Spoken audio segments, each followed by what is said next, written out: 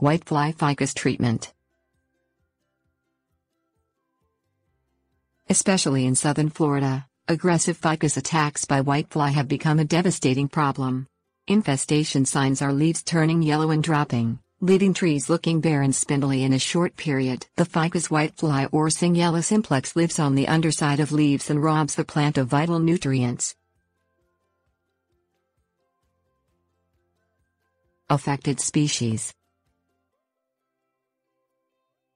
The most affected ficus is the popular ornamental ficus benjamina or weeping figure in southern Florida. This variety is heavily used for landscaping and hedging. Other varieties commonly affected, Ficus altissima banyan tree, Ficus aurea strangler fig, Ficus microcarpa Cuban laurel, Ficus lyrata fiddle leaf fig and Ficus maclellandii banana leaf fig. First signs Gardeners look for infestation before it becomes critical. Initial signs are streaks of whitish or yellow discoloration underneath ficus leaves, before the leaves turn yellow. There may also be small pieces of white debris moving or static among the leaves, which are the flies themselves, approximately inch in size. Silvery white spots underneath leaves are old skins of immature flies. Treatment Treat plants at the early stage and when they are drought stressed. It's too late when leaves are yellow or dropping. Either use a systemic drench approach in the soil, or wait for fresh growth. Treat small plants with insecticidal soap spray or smother leaves in horticultural oil every 7 to 10 days. The spray and oil are found in garden centers and prevent flies from breathing, causing death. When using a spray or oil, ensure all underside leaf surfaces are covered. Use a small vacuum to remove flies. Freezing removed contents before disposal. Yellow sticky traps are effective hang close to the top of plants facing away from the sun, also near greenhouse entry points. Never stand infected plants near healthy plants. Sprays containing neem or pyrethrum give efficacy, but see insecticide cautions. Applications must be repeated as on the pack. Spray late in the day, avoiding leaf burns.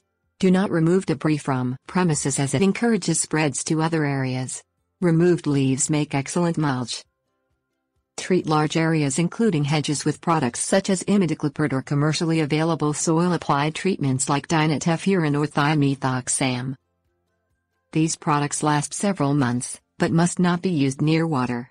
Follow instructions. Insecticide cautions. In using insecticides, especially pyrethrins and imidacloprid, natural predators are adversely affected. Only use powerful insecticides where there really is no natural alternative. Natural predators One form of management is the introduction of natural predators to the ficus plant.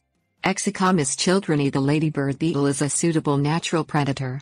Encarsia formosa, a small wasp, parasitizes up to 100 immature greenhouse whiteflies each. Encarsia populations prefer temperatures above 70 degrees Fahrenheit for development. The best time to use Encarsia is between mid-March and mid-September. Delphastus pusillus, a small black ladybird beetle, controls both greenhouse and silverleaf whitefly. The larvae will consume up to 1,000 whitefly eggs in its lifetime, but will also feed on nymphs. Like Encarsia, the beetles perform best at temperatures between above 65 F. Local University Extension Services may advise on natural predators and provide specimens.